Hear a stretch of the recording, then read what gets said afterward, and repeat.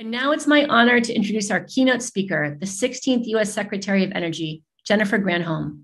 Secretary Granholm was the 47th governor of Michigan from 2003 to 2011 and Michigan's first female governor, particularly important to me because I was actually born in Michigan.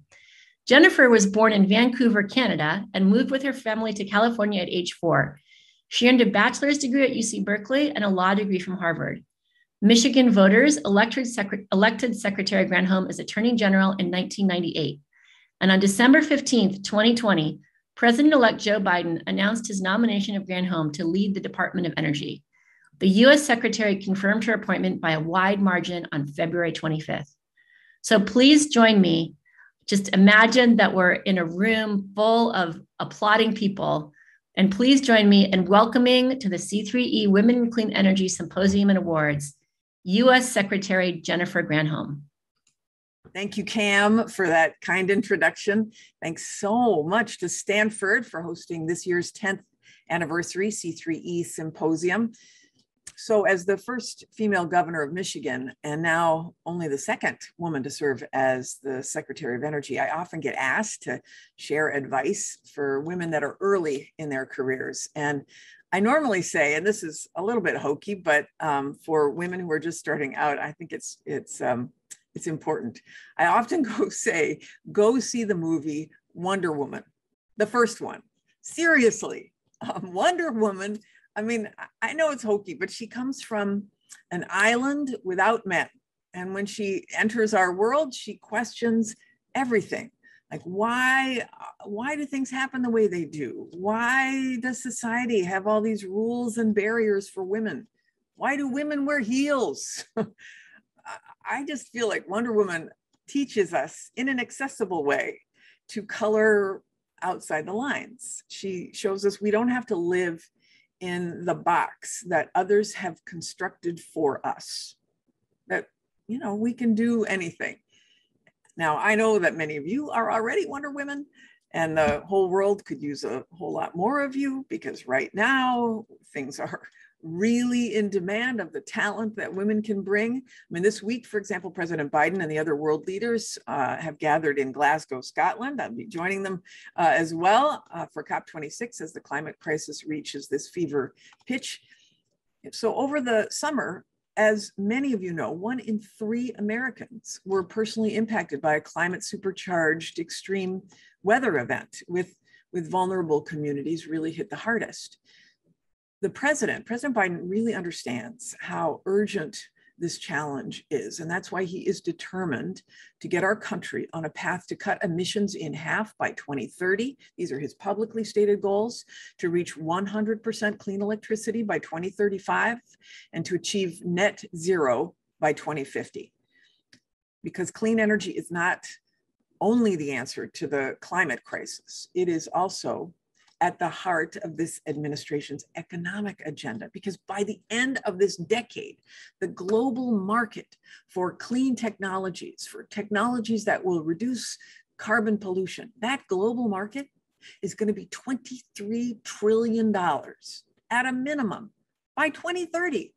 What an opportunity. What an economic opportunity for entrepreneurs, for inventors, for designers you know, to stake our claim in that $23 trillion market, Congress is poised to make the biggest climate investment in US history. Over $700 billion when you look at the Build Back Better reconciliation bill and the infrastructure bill. It's huge. And that investment is going to turbocharge clean energy build out in every pocket of America. And it's going to create millions of good paying jobs. But in order to succeed, we really need every single one of you in this fight. What an amazing time this is to launch a career in clean energy. And, and, for those of you who are already at the front of the pack leading this charge and who've been doing this for, for decades or for years, there certainly couldn't be a better time to help other women in our ranks.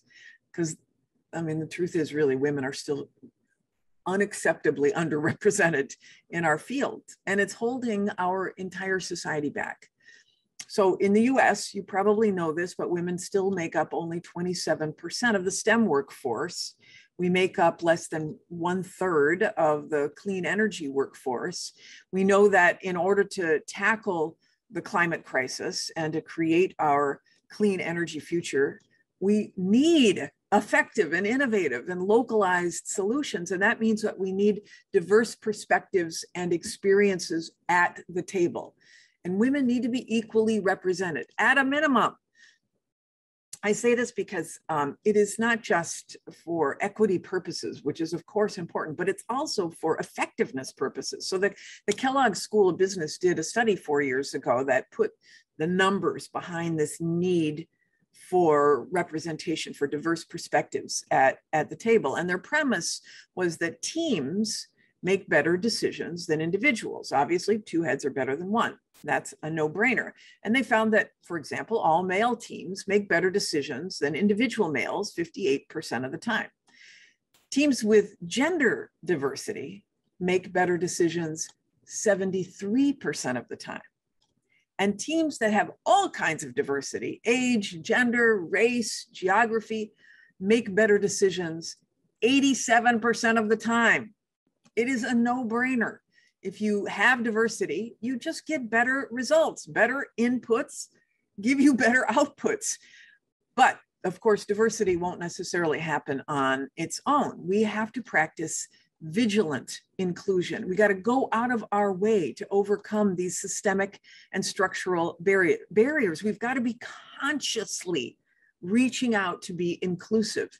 There's a there's a really really great example of this down the road from you right now uh, at SLAC, the National Accelerator Lab that's part of the DOE network. SLAC hosts a, a summer camp every year for, for high school juniors girls from underrepresented communities. And on average, um, before they went to this camp, none of them, they were nominated by professors and teachers of theirs in high school. And none of them thought that they were going to be going into a STEM field, but they were game to try this summer camp. Once they got through it, on average, 90% of them chose a STEM major in college after completing this program. You know, we need to be con, you know, consciously reaching out and exposing diverse populations to STEM. You know, if they can't, if you can't see it, you can't be it, right? As they say. So it's one example why we're working really hard to live up to uh, this commitment to inclusion at the Department of Energy. Under the Biden Harris administration, we've built the most diverse team of political appointees in DOE history. I'm really proud to say 58% of our appointees uh, identify as Black, Indigenous, or people of color. 58% uh, also identify as women, 20% as LGBTQ plus.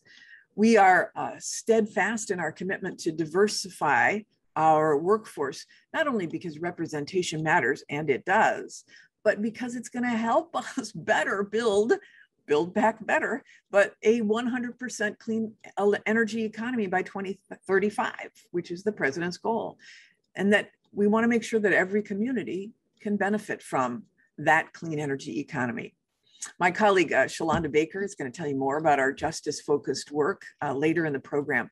But we are orienting the entire DOE team to make sure that 40% of the benefits of clean energy investments by this administration flow to disadvantaged communities. We're supporting communities that have been historically underserved by federal investments as those communities pursue their own clean energy goals. We want it to be inclusive, bottom up. We want to listen.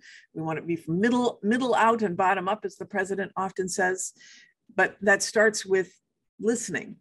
So we're expanding access as well to clean energy in low income communities and communities of color.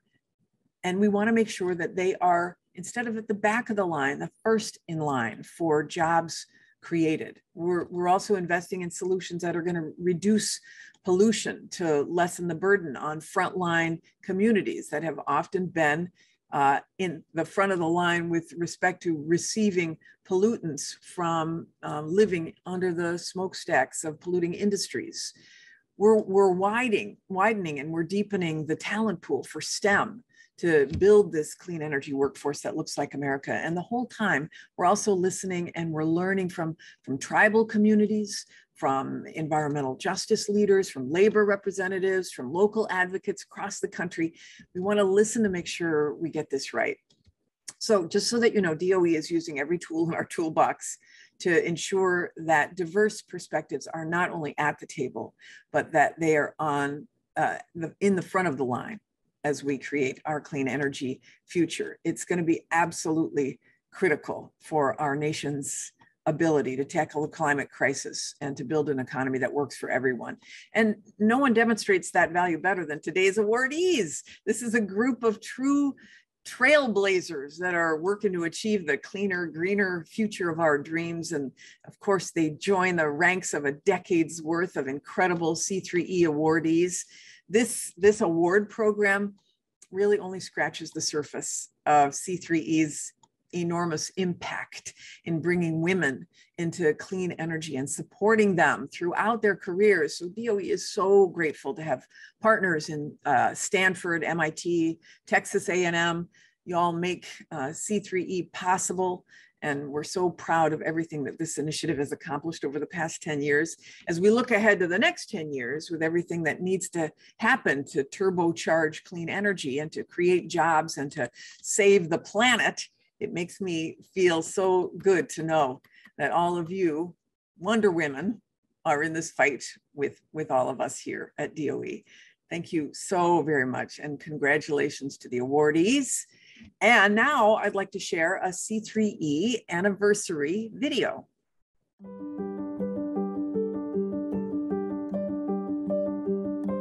You don't have to be here more than five seconds to be inspired.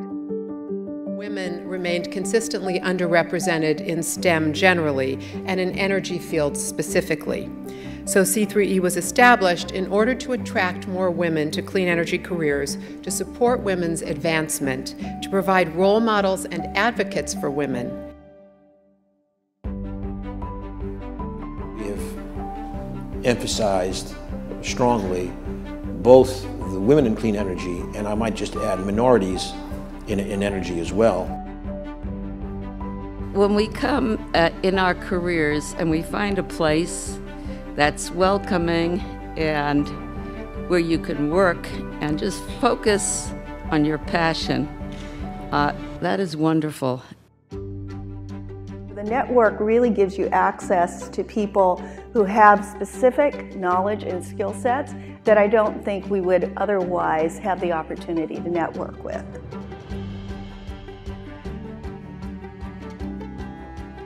It's really amazing to hear some of the cultural stories and knowledge that our indigenous peoples have that are embedded, truly embedded in science and engineering, technology, and math.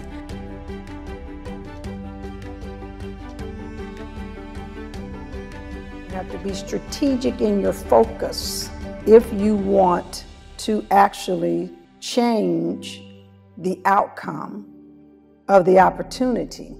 You have to go where the community is. You got to take the science to the community.